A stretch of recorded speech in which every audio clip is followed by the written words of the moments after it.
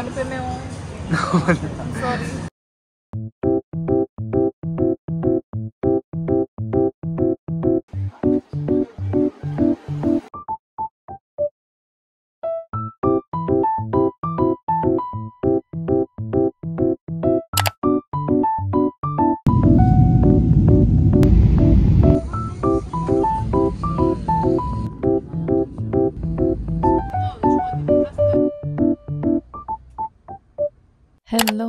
Welcome or welcome back to my channel. As you can see very clearly, I am on my way to Thailand in this video and I really like the way my last video turned out to be, the Jaipur video where I share tips and tricks with you. So that's why I decided to make, I mean, few vlogs. So this is the first one. Obviously because this is like my first time, I wanted to do really touristy things. So the first tour was the Maya Bay slash Phi Island tour.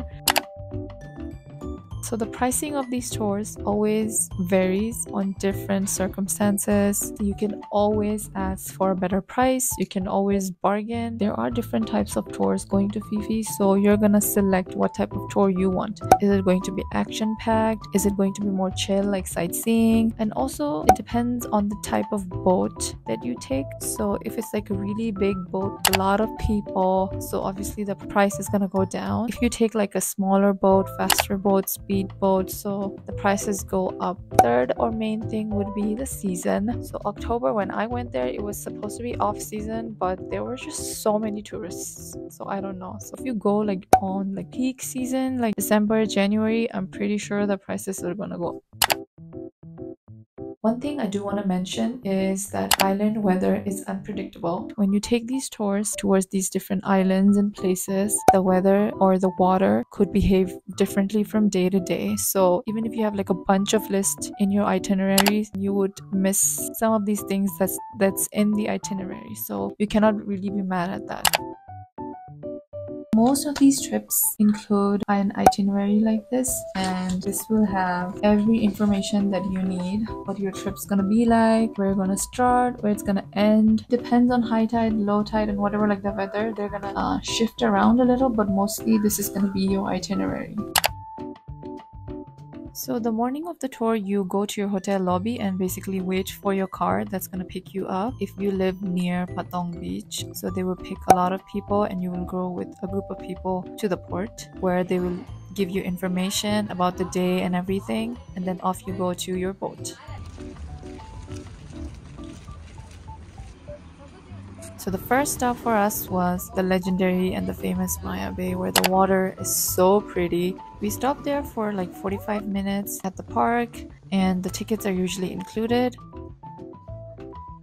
And yeah, this is how it looks like. It was so pretty and the sun was out. But you're not supposed to like swim in the water, but I really didn't mind it. He was mostly taking pictures, enjoying the ambiance, the water, and the pictures do not even do justice. Obviously, this place is made really famous because of this movie called The Beach, starring Leonardo DiCaprio. And after the most beautiful time at Maya Bay, we move on to snorkeling and swimming at Pileh Lagoon.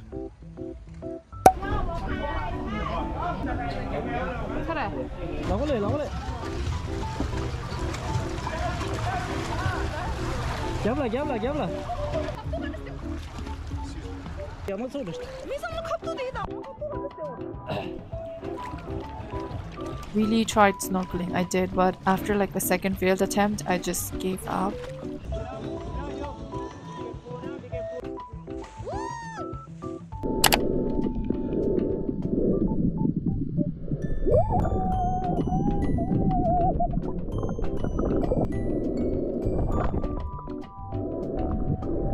Sightseeing at Viking Cave. And then it was Monkey Bay. It was also sightseeing. Apparently, these monkeys are like very unique and only found here, and they swim apparently. These are really like quick stops, and then we move on to our buffet lunch at Phi Don. We had lunch at the bigger island. It was so pretty and peaceful. I wished we were staying there.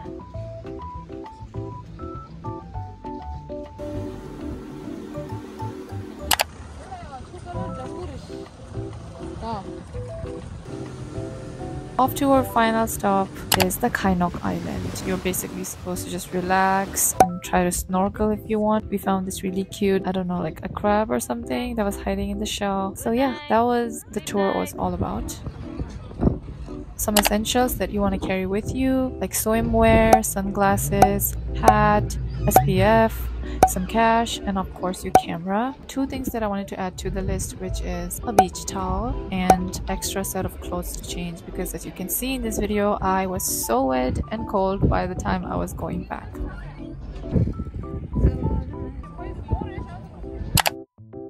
So the package that we booked, it was more like the chill version, sightseeing, less activity kind of thing. Maximum there were like 30 people or even less. And the boat was so clean. There was a toilet on the boat. The pamphlet mentions what the tour includes and it mentions there's hotel transfer, that is true. There are snorkeling equipments, yes. Certified tour guide, yes. National park tickets included, yes. Lunch at a local restaurant, yes. Life jackets, yes. Drinks and snacks on board, hell yes. The total for the trip was 3000 Thai baht per person. So that was all about Maya Bay. I hope this video was informative and useful for you guys. The next video will be about the James Bond Island tour. So stay tuned for that. So now that it's like peak season in Thailand, there will be a lot of people going to Thailand. So I hope you have a wonderful time. If you have any more questions, definitely leave it in the comment. 80 or 90% of you guys watch my videos but don't subscribe. So please subscribe this year and help this creator grow. That is it for today, and I'll see you in my next one. Toodles!